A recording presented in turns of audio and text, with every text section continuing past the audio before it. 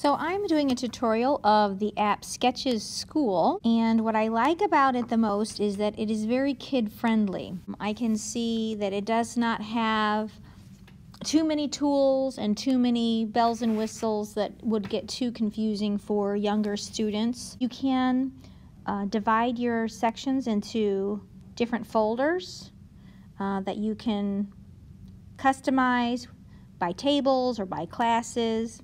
What I also like about this app is that it get, has built-in tutorials that are easy for students to understand. So if I click on uh, Sketches Tools, it's going to bring up these cute little pictures that will show the students what all the different tools are available and what they can do.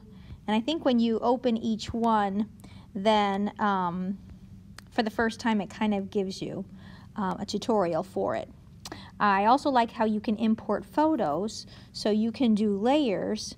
Um, I think with the free app you can just do one layer, but if you get Sketches Pro, there's a lot more tools that are available, more color options, a lot more options if you want to pay for um, the upgraded version.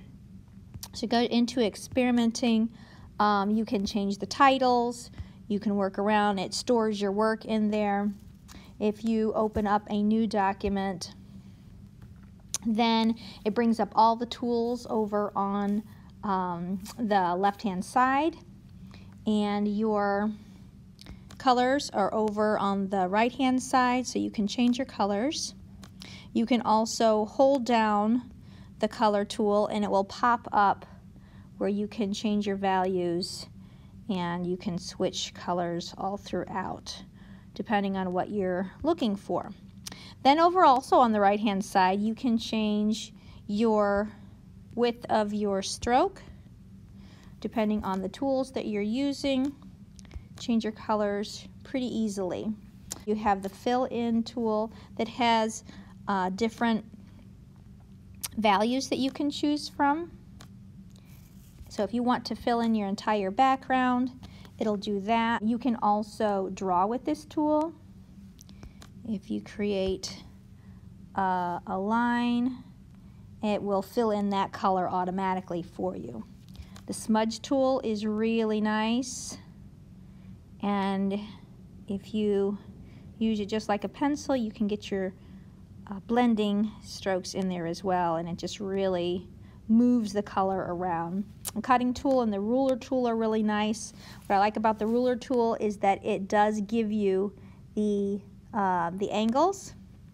So if you are trying to go for a particular straight line and you need for it to be parallel, when you draw in that straight line, you can just move your ruler up and you can change the angle or you can put it right back to that same angle that you had before at a number 20 so that you can create those parallel lines.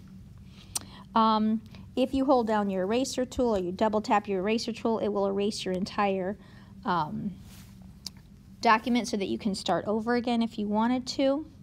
Um, another really nice tool, you have the symmetry tool so that you can create symmetrical images and the undo tool.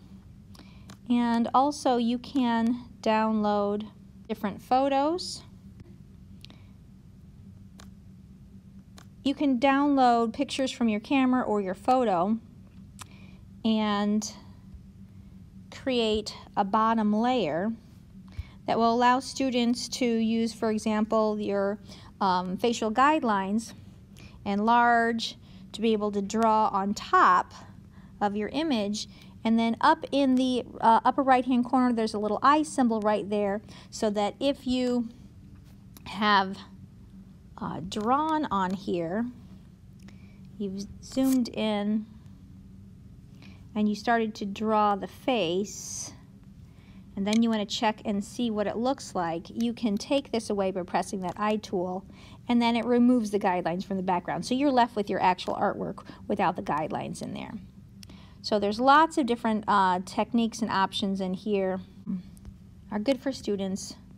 The folders, the apps, it's very kid friendly. And that in a nutshell is Sketches School.